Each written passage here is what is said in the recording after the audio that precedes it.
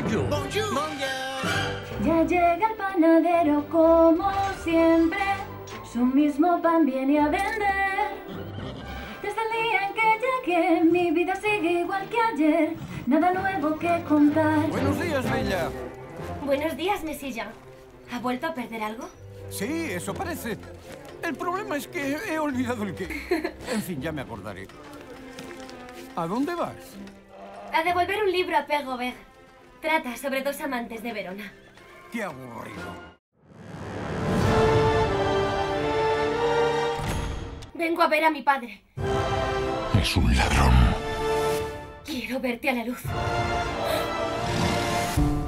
Me escaparé, te lo prometo. Miga, una muchacha. ¿Quién ha hablado? ¡Hola!